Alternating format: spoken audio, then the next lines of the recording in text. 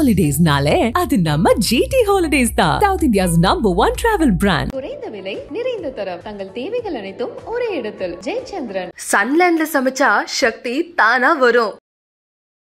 மனுஷனா உலக ரீச் ஆகுறதுக்கு படைச்ச கடவுளே அவருதான். அவருக்கு வந்து நம்ம முத்தமிழ் மாநாடு எடுக்கிறோன்றது நம்மோட கடமை நம்மளோட பெருமை.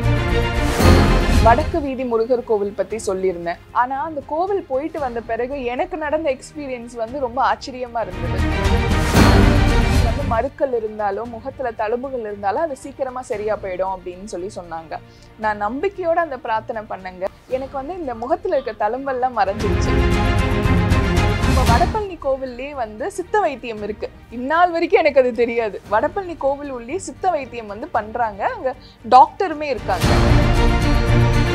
குழந்தை வந்து ஆண்டி கோலத்துல வந்து இருக்கிற முருகரை சின்ன ஸ்டாச்சு வந்து கொடுத்தாங்க. நான் வீட்டுல எடுத்துட்டு போய் வச்சுட்டேன். என்னடா நம்ம திருத்தணி ஆளு பழனி முருகர் வராரே அப்படின்னு நினைச்சேன். அவரு வந்து கொஞ்ச நாள்ல அதனால நீங்க ஆண்டி கோலம் ராஜ அலங்காரம் கோலம்னு பிரிக்காதீங்க. கடவுள் வந்து எந்த கோலத்துல இருந்தாலுமே நம்மளுக்கு நன்மை தான் செய்வார். பக்தி வேற அறிவியல் வேற இப்படி நினைச்சிங்கன்னா அது நம்மளோட அறியாமை தான்.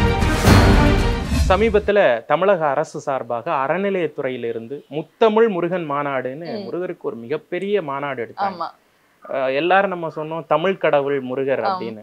ஆனா அங்க வந்து பார்க்கும்போது முருகர் யூனிவர்சல் கடவுளோ அப்படின்னு ஏன்னா. ஜப்பானியர்கள் வந்திருக்காங்க மலேசியால இருந்து வந்திருக்காங்க சிங்கப்பூர்ல இருந்து வந்திருக்காங்க அங்கெல்லாம் முருகர் வழிபாடு அதுவும் அந்த பூர்வக்குடி மக்கள் ம். வந்து சொல்றப்ப. ஆச்சரியமா இருக்கு முருகர் ஒரு பெரிய ரீச் ஆயிட்டாரு. அதுவும் உலக அளவுல நம்ம நம்ம ஆள் இருக்காரு. அப்படிங்கிறது நமக்கு ஒரு பெருமை தானே. உங்களுடைய பதில். அவர் என்னங்க? மனுஷனா? உலக ரீச் ஆகுறதுக்கு படைச்ச கடவுளே அவருதான். அவருக்கு வந்து நம்ம முத்தமிழ் மாநாடு எடுக்கிறோன்றது நம்மோட கடமை நம்மளோட பெருமை. தமிழ்நாட்டோட பெருமைங்க அது. உலகத்துக்கு எடுத்துட்டு போய் நம்ம சேர்க்கிறோம். அவரு ஏற்கனவே உலகத்தை வந்து படைச்சவர். அவரு வந்து சாந்தமா வந்து நான் உங்களுக்கு என்னென்ன நல்லது செய்யணுமா செஞ்சுட்டு தான் இருப்பேன்னு சொல்றாரு. நம்ம வந்து அவருக்கு ஒரு பெருமை சேர்க்கிறோம். அவரோட நூல்களை அவரோட பெருமைகளை மனுஷங்களுக்கு நடந்த நிறைய அற்புதங்களை இயற்கைக்கு அவர் என்னென்னலாம் பண்ணியிருக்காருன்றத வந்து கொண்டுட்டு போய் சேர்க்குறோம். அது ஒரு நல்ல விஷயமும் கொடுங்க. அந்த குழந்தைலாம் அழகாக வந்து பாடினாங்க. அதெல்லாம் பார்க்கும்போது ஆஹா இவ்வளோ அழகாக இருக்கே. இவ்வளோ இவ்- வருங்கால சங்கதிகள்லாம் இவ்வளோ பாசமாக இருக்காங்க முருகருக்கு அப்படின்னு சொல்கிறது அதுவும் நம்ம நம்ம அமைச்சரவையில் அதெல்லாம் கொண்டுட்டு வந்து எல்லாருமே அரசே இதை எடுத்து இந்த இந்த திட்டத்தை பண்ணும் போது அது இன்னமும் சந்தோஷமா தான் இருக்கு. ஏன்னா வெளிப்புறத்துல இருக்கவங்க வந்து இதை பண்ணா வந்து பப்ளிசிட்டிக்காக பண்றாங்க அப்படின்லாம் சொல்லிடுவாங்க. அது அரசு பண்ணும்போது என்ன ஆயிடும்னா ஒரு நலத்திட்டம் மாதிரி இந்த வழிபாட்டுக்கெல்லாம் முதல்ல வாங்க. இது ஒரு பெரிய ஒரு ரெகக்னைசேஷன். ஒரு நம்ம. வழிபாடு நம்ம ஆன்மீக வழிபாடு நம்ம. பாரம்பரியம் நம்ம பாரம்பரியத்துக்கு வாங்கன்னு சொல்றது வந்து ஒரு நல்ல ஒரு விஷயம் அதுல தேச மங்கைக்கரசி அம்மா வந்து நிறைய விஷயங்கள் வந்து பேசியிருந்தாங்க அதெல்லாம் பார்க்கும் போதெல்லாம் வந்து நான் நான் வாழ்ந்துட்டு வர காலத்துல இவ்வளோ அழகான ஒரு பேச்சுக்கள்லாம் கேட்கறதும் அரசு வந்து இந்த அளவுக்கு வந்து எடுத்து சிரமம் எடுத்து இதெல்லாம் பண்றது நினைக்கும் போது ரொம்ப சந்தோஷமா இருக்கு இந்த எறால நம்ம இருக்கிறது ஒரு பெருமை. ரொம்ப சந்தோஷமா தான் இருக்கு. எப்பவுமே ஒரு முருகன் கோயில் அப்படிங்கிறப்ப நீங்க சொன்னீங்க வடபழனி திருத்தணி அப்படின்னு சொல்லிட்டு. நீங்க வந்து இந்த ஒரு கோயில் வந்து மக்கள் கண்டிப்பா போகணும் அப்படின்னு நினைச்சு ஒரு எக்ஸ்பெக்ட் பண்ணி ஒரு விஷயத்தை நீங்க சொல்லணும்னு ரொம்ப நாளா நினைச்சிட்டு இருந்த ஏதாவது ஒரு கோயில் இருக்கா?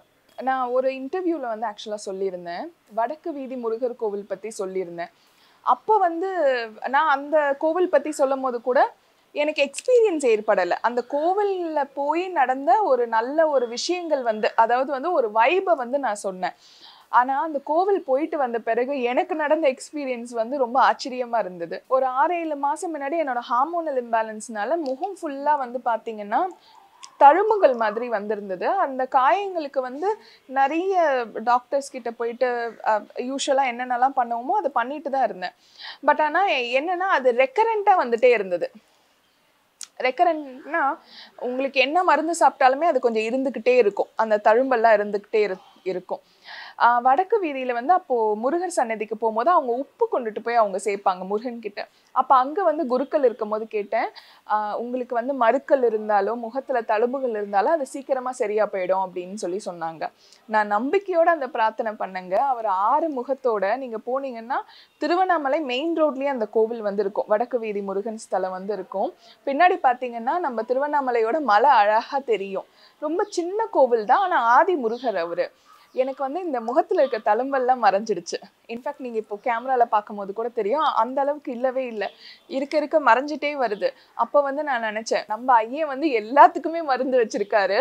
நீங்கள் வந்து என்னென்னா அதுக்கான பிரயத்தனம் செய்யணும். அதுக்கான ஆறுதல் வந்து அவர் உங்களுக்கு கொடுத்துருவாரு. அதுக்கான மருந்து அந்த ப்ரேயர்ஸ் எல்லாமே அவரே வந்து உங்களுக்கு வந்து நேர்கோட்டில் எடுத்துட்டு வந்துடுவாரு அது அந்த கோவிலோட அற்புதம் அது. எல்லாருமே போயிட்டு வாங்க. அதனால தானே சித்தன்கிறோம் இல்லையா.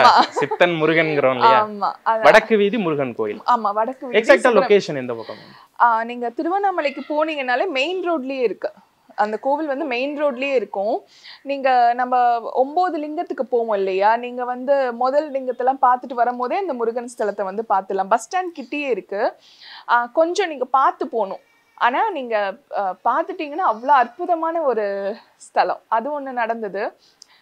ரெண்டாவது வந்து நம்ம புஷ்கரா ஸ்டூடியோஸில் வந்து ஒரு ஒருத்தர் வந்து வேலை செய்கிறாங்க அவருக்கு வந்து வயசு வந்து கொ- வ- வயசான தாத்தா. அவருக்கு வந்து யாருமே இல்லை. சொல்லிக்கிறபடி யாருமே இல்லை. என்னோட அண்ணன் விஸ்வ அண்ணன் வந்து சொன்னாங்க இந்த மாதிரி தாத்தாக்கு யாருமே இல்லை சரண்யா இங்கே எடுத்துட்டு வந்து விடட்டுமா அப்படின்னு கேட்டாங்க. நான் சொன்னேன் தாத்தா இங்கேயே இருந்துக்கிட்டோம் அப்படின்னு சொல்லிட்டேன். தாத்தாக்கு என்னன்னா கால் பெயினுங்க. நான் வந்து அவர் எப்பவுமே சித்தா கிளினிக் தான் போவார். நம்ம தான் இந்த நடைமுறையில் இருக்கவங்களுமே. நான் வந்து சொன்னேன் அலோபதி கிளினிக் நான் கூட்டிட்டு போகிறேன் அப்படின்னு சொல்லிட்டு வடபழனியில் ஒரு அலோபதி கிளினிக் இருக்குது அங்கே வந்து சொல்லியிருந்தேன். தாத்தாவும் வந்திருந்தாரு. நான் நினச்சேன் அந்த கிளினிக்கு தான் கூட்டிகிட்டு போகிறேன்னு சொல்லிட்டு அங்கே அப்பாயின்மெண்ட் எல்லாம் விஸ்வானனை சொல்லி வாங்க சொல்லிட்டேன். ஆனால் அப்புறமா தான் தெரியுது நம்ம வடபழனி கோவில்லே வந்து சித்த வைத்தியம் இருக்குது இந்நாள் வரைக்கும் எனக்கு அது தெரியாது. வடபழனி கோவில் உள்ளே சித்த வைத்தியம் வந்து பண்ணுறாங்க அங்கே டாக்டருமே இருக்காங்க. எனக்கு இது தெரியவே தெரியாது. கோவிலுக்குள்ளவே இருக்காங்க.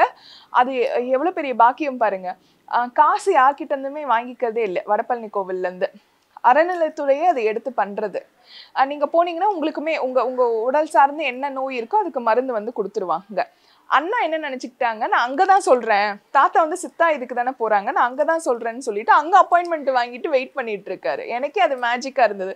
நம்ம போகணும்னு நினச்சது வேற ஒரு கிளினிக்கு போனது வ- முருகர் சன்னதிக்கு. சன்னதி உள்ளே போயிட்டோனே டாக்டர் எல்லாம் பார்த்தாச்சு. அங்கே கிட்டத்தட்ட ரொம்ப பழமையான படம். ஆயிரத்தி தொள்ளாயிரத்தி அறுபதுல வந்து சில்பி வரைஞ்ச பழனி முருகரோட ஒரிஜினல் படம் வந்து கீழே வச்சுருந்தாங்க. ரெனோவேஷன் நடந்துட்டு இருக்கு அந்த ரூமில் அப்போ அவங்க அந்த டாக்டர் அம்மா கிட்ட கேட்டேன் இந்த படத்தை வந்து நான் வந்து புதுசு பண்ணி உங்களுக்கு கொடுக்கட்டுமா? அப்படின்னு கேட்டாங்க. அவங்க ரொம்ப சந்தோஷமா சரி கொடுங்கம்மா அப்படின்னு சொல்லிட்டாங்க. புதுசு பண்ணி அவங்களுக்கு ஒன்று கொடுத்துட்டேன். நானும் ஒரு படம் எடுத்து போய் வீட்டில் வச்சுட்டேன். அவர் வந்து ராஜ அலங்காரத்தில் இருக்க மாட்டார். பழனி முருகரை நீங்கள் பார்த்துருப்பீங்கல்ல தன் அந்த கோலோட அவர் வந்து இருப்பார். நிறைய பேர் சொன்னாங்க இந்த படத்தை எப்படி வீட்டில் வைக்கலாம்? ராஜ அலங்காரம் படம் தானே வைப்பாங்க அப்படின்னு சொன்னாங்க. நான் சொன்னால் அதில் எனக்கு உடன்பாடு இல்லை. பழனி வந்து என்ன? நிறைய நோய் தீர்க்கும் ஒரு ஸ்தலம். மனசுலையும் சரி உடம்புலையும் சரி நோய் தீர்க்கும் ஸ்தலம். அதனால அங்கே போ அங்கே வந்து அவர் வந்து என்ன ஒரிஜினாலிட்டியாக இருக்காரோ அந்த படத்தை நம்ம வைக்கலாம் அப்படின்னு சொல்லிட்டு. ஆண்டி கோலத்தில் வந்து வைக்கலாம் அப்படின்னு சொல்லிட்டு வீட்டில் எடுத்துகிட்டு வந்து வச்சுட்டு அவருக்கு டெய்லியுமே தீபம் ஏற்றினேன் நீங்க நம்பவே மாட்டீங்க. எப்பவுமே என் மனசுல வந்து எதனா எண்ணத்துல வந்து எதனா இருந்துகிட்டே இருக்கும். ஏதோ ஒரு நெருடலோ ஏதோ ஒரு சின்ன சின்ன ஒரு இது இருந்துகிட்டே இருக்கும். பீஸ் ஆஃப் மைண்ட் வந்து சம்டைம்ஸ் நம்மளே எடுத்து சிலது போட்டு போல மைண்ட்ல அந்த மாதிரி இருக்கும். அவர் வீட்டுக்கு வந்ததுல இருந்து அவ்வளோ பீஸ் ஆஃப் மைண்டா இருக்கு வீடே. ஆண்டி கோலத்துல அதனால எனக்கு வந்து சில பேர் இப்ப சொல்றாங்க இல்லையா ஆண்டி கோலம் ராஜ அலங்காரம். இதுல வந்து உடன்பாடு இல்லாமல் சுவாமி எந்த ரூபத்தில் இருந்தாலும் அப்படியே ஏற்றுக்கோங்க அது வந்து ஒரு நல்ல விஷயம். அந்த பாக்கியம் வந்து பழனி ஆண்டவர் வந்து எனக்கு கொடுத்ததும் அதுவுமே ஒரு நல்ல விஷயம். ஏன்னா ரொம்ப பழைய படத்தை வந்து நான் இது பண்ணது வந்து எனக்கு ரொம்ப நல்ல விஷயமா இருந்தது. அந்த படத்தையுமே உங்களுக்கு காமிக்கிறேன். இந்த படம் தான் விவேக். வடபழனி கோவில் எனக்கு கிடைச்சது. பழனி வந்து முருகர் வந்து ஆண்டி கோலத்துல இருக்கிறது. அப்படியே உள்ள அவர் எப்படி இருப்பாரோ அதே மாதிரி எனக்கு வந்து சில பேர் சொன்னாங்க ராஜ அலங்காரத்துல தான் வைக்கணும் அப்படின்னு சொல்லிட்டு. ஆனா ஆக்சுவலா இந்த படம் வர்றதுக்கு முன்னாடி ஒரு குழந்தை வந்து ஆண்டிக்கோலத்துல வந்து இருக்கிற முருகரை பழனி முருகரை சின்ன ஒரு ஸ்டாச்சு வந்து கொடுத்தாங்க. அதாவது இந்த கிளேல செய்வாங்களா களிமண்ணில் செய்வாங்களா அது. நான் வீட்டில் எடுத்துட்டு போய் வச்சுட்டேன். என்னடா நம்ம திருத்தணி ஆளு பழனி முருகர் வராரே அப்படின்னு நினைச்சேன். அவர் வந்து கொஞ்ச நாள்ல இந்த படம் வந்து வந்தது. ரொம்ப அற்புதமான படம் ரொம்ப அழகான படமும் கூட. திருவர இருட்டு அது அப்படியே அங்க அவர் என்ன பார்த்தாரோ அது அப்படியே வரைஞ்சிருக்காரு. இவர் வந்ததுல இருந்து வீடே வந்து ஒரு நிம்மதியான ஒரு கோலத்துல வந்து வந்திருக்கு. எனக்கு அதனால இவர் வந்ததுல ரொம்ப சந்தோஷம். அதனால நீங்க ஆண்டி கோலம் ராஜ அலங்காரம் கோலம்னு பிரிக்காதீங்க. கடவுள் வந்து எந்த கோலத்துல இருந்தாலுமே நம்மளுக்கு நன்மை தான் செய்வாரு. நம்ம நினைக்கிறதுல தான் இருக்கு. அதை உங்ககிட்ட சொல்லிக்கணும்னு விரும்பினேன். இந்த படமும் ரொம்ப அற்புதமான படம்னால உங்ககிட்ட காமிக்கணும்னு நினைச்சேன். டூ கே ஜென்ரேஷன் அப்படிங்கிற இப்போ நைன்டிஸ்ல வந்து ஓரளவுக்கு போய் இப்ப ஏதோ டூ கே ஒன்னு வந்திருக்கா? அப்படின்லாம் என்னெல்லாமோ சொல்றாங்க.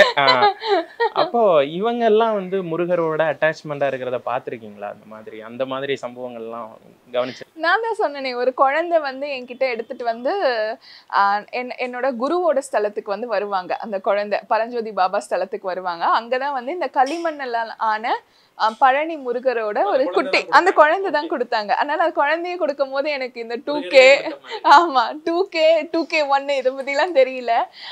ஆனா பக்தின்றது எல்லாருக்குமே வேணும். ஒரு ஸ்பிரிச்சுவல் பாத் எல்லாருக்குமே வேணும். நீங்க வந்து நான் வந்து இல்ல.